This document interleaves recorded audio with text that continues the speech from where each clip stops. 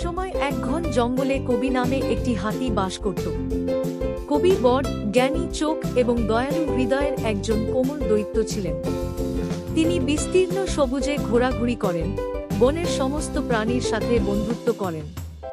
একদিন মিকো নামে একটি দুষ্টু বানর কাভিকে নিয়ে মজা করার সিদ্ধান্ত নেয়। মিকো একটি লম্বা গাছে উঠে আরেকটি হাতির ভেপু আওয়াজ অনুকরণ করতে শুরু করে। কাভি কৌতূহলী এবং উত্তেজিত জঙ্গলের গভীরে শব্দটি অনুসরণ করে।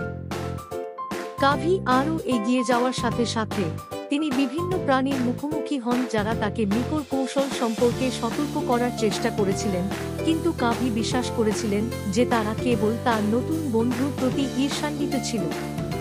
অবশেষে তিনি একটি ক্লিয়ারিংয়ে পৌঁছেছিলেন, যেখানে তিনি অন্য হাতির সাথে দেখা করার আশা করেছিলেন। তার অবাক হওয়ার মতো অন্য কোনো হাতি ছিল না, কাভি বুঝতে পেরেছিল যে মিকোর চতুর অনুকরণে তাকে বোকা বানানো হয়েছে। কিছুটা বিব্রত বোধ করলেও বানরের খেলাধুলা বুঝতে পেরে কাভি হেসে ফেলল। সেদিনের পর থেকে কাভি এবং নিকো অসম্ভব বন্ধু হয়ে ওঠে। জঙ্গল তাদের হাসির সাথে প্রতিধ্বনিত হয়েছিল, যখন তারা একসাথে দুঃসাহসিক কাজ শুরু করেছিল। অন্যান্য প্রাণীদের ক্ষমার মূল্য এবং বন্ধুত্বের আনন্দ শেখায়। এবং তাই জঙ্গল সম্প্রীতির সাথে সমৃদ্ধ হয়েছিল। একটি জ্ঞানী হাতি এবং একটি দুষ্টু বানরের মধ্যে স্থায়ী বন্ধনের জন্য ধন্যবাদ।